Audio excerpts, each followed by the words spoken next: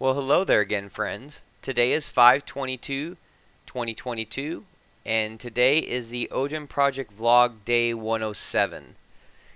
And uh, today was a, uh, a simple one, and uh, quick and short, so this should be a pretty short video. Um, I got through um, number four here, uh, create a bare bones homepage for a restaurant. Include an image, headline, and some copy about how wonderful the restaurant is. At this point, it's okay to hard code these into HTML for now just to see how they look on the page. And that's exactly it. And so that's what I did. So let's get started. So here's the HTML. In, as uh, per last uh, video, we are in the dist folder uh, and we're editing the index.html directly because that is uh, is where the file is located.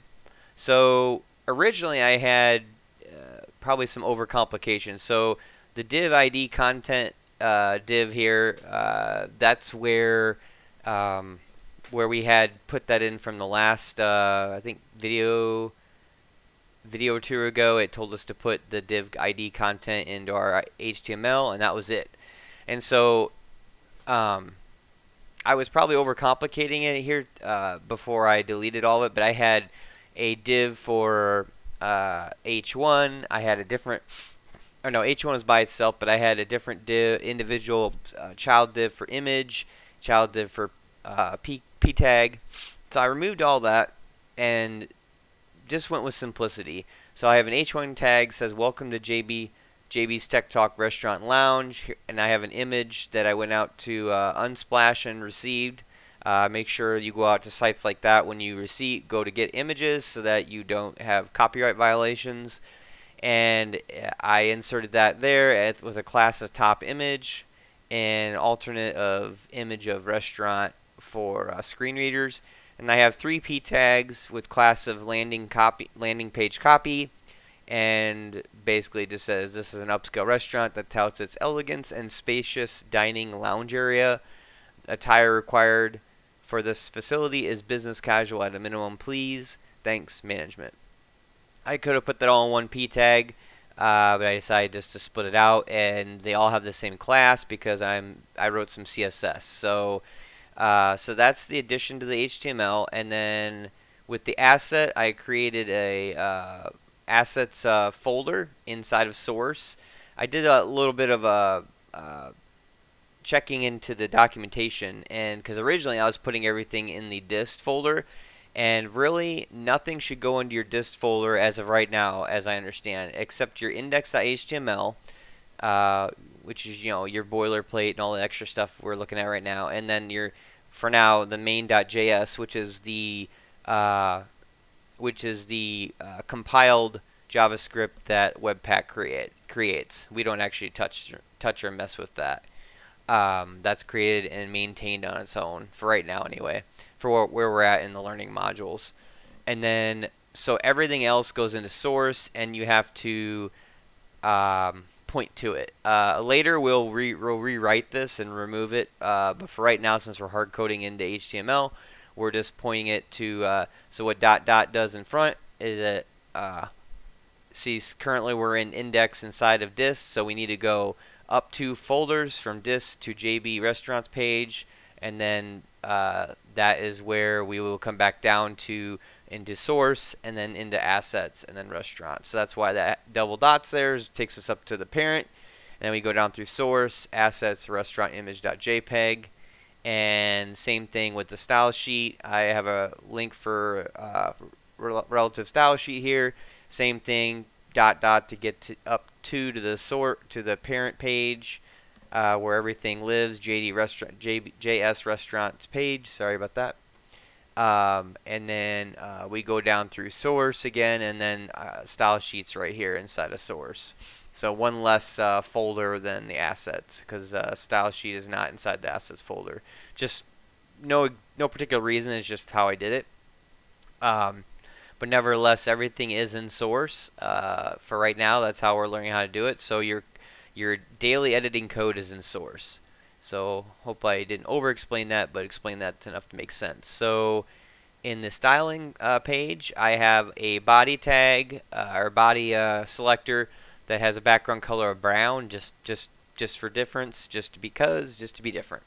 And then I have a uh, pound content because that's the ID selector for the for the content of the page. And I commented out display flex and justify content center because that was what I was using prior when I was kind of overcomplicating things. I had a flex, I was using flex, and I had multiple divs, and I just felt like uh, it, it said in the requirements to keep it simple and keep it bare bones, and I, I felt like I was overcomplicating it, and it was going to cause me problems down the road with Webpack, so I decided to get rid of that. So I do have a min height of 100 VH to the screen so that the content fills the screen. Um, I zeroed out the margin and padding, and I have text align center so that everything that comes inside of content is uh, centered.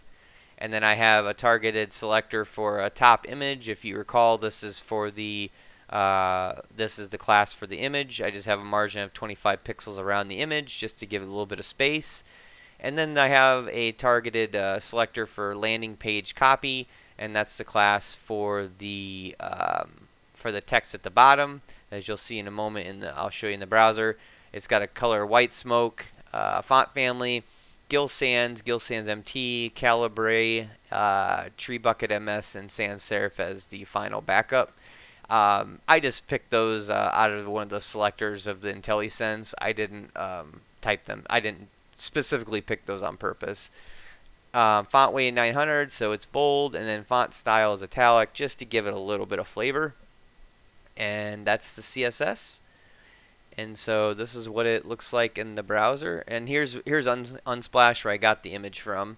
Uh, make sure uh, you don't have to copy this one per se. Uh, be creative, get your own material. But go out to this page or other, other, there's a couple other ones I don't remember off the top of my head, but a couple other sites that uh, Top recommends that you can go to for uh, free non-copyrighted images. Uh, but this is just the one off the top of my head that I remembered. And so here's the restaurant page, refresh it, and it says again, welcome to JB's Tech Talk Restaurant and Lounge. Um, here's a here's the image and there's padding around it and then it says there's my there's my uh, copy caption. And if we have 12 they'll take a look at it. There is the I still have the the index.js uh, attached via the script and it still a logging so that still works and not broke um, and I also do not have I still have the uh, terminal running for the uh, listener for Webpack so it automatically updates everything uh, and rebundles it as I go along. And so all I have to do is just refresh the page because, like I said, I'm not using, like I said in my previous videos, I'm not using live server right now, so I have to refresh the page here. I'm doing that on purpose because I don't want to, if we end up using uh, Webpack's automated uh, automated material, I don't want to uh, um, run into issues where I'm where I'm where I've got that trying to do automation and and do a and still have live server running on the uh, editor. So that's why it's like that. And that is about it. So here I took a screenshot or copy just in case I wanted to add my divs back in later. So this is what I had originally in my HTML and it was just it seemed overly complicated unnecessarily. So that's when I had the flex uh, flex container on, and these were these ended up being uh, flex items. You know, I had class a headline and image, and I just took that out because it just it just uh, seemed overly complicated. And it even says in the uh, right here, uh, create bare bones homepage. So just just keeping it simple. So next time we're going to remove, uh, it sounds counterintuitive, but we just want to get the basics down to see the page. And then in, in, number five, we're going to remove all the HTML and uh, use DOM manipulation to have JavaScript do that instead. So this will be kind of interesting and integrating Webpack into that at the same time. So that is it for today. Um, please like, share, and subscribe for more content. And let me know in the comments section how you guys are doing. And until next time, see ya.